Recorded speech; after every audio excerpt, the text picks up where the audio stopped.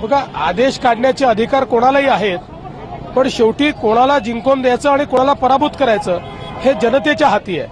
आणि मला विश्वास आहे एकनाथराव खडसे ज्यांना सहा वेळा कोणी हरवू शकलं नाही ते निश्चितपणे मोठ्या फरकाने निवडून येतील आणि जनता विनोद तावडे आणि आशिष शेलार यांच्या पाठीशी भक्कमपणे उभी राहील आणि हे दोघेही आमचे निश्चित निवडून येतील.